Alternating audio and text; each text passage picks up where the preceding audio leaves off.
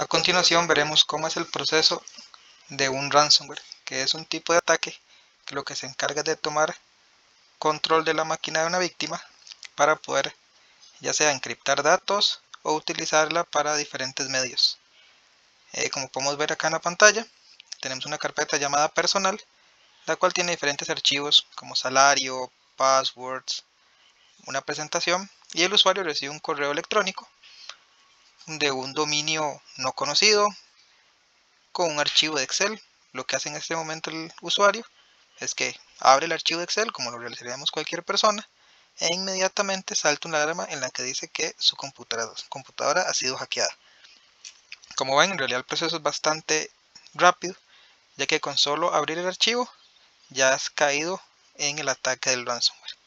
Adicional podemos observar cómo los diferentes archivos que se encontraban en la carpeta personal se encuentran encriptados. ¿Y qué quiere decir encriptados? Que ya no pueden ser accedidos de manera sencilla. Eh, adicional, como puedes ver por acá, eh, lo que hace un atacante es pedir una recompensa, en este caso en bitcoins, que es una moneda que no puede ser rastreada, para pedir eh, pues el rescate del mismo y a la hora de pagar, pues él eh, pasaría la contraseña para que los diferentes archivos sean desencriptados. Algo que no suele suceder, ya que eh, pues al final estamos negociando con un delincuente y no hay nada que eh, le evite no pasarte la contraseña.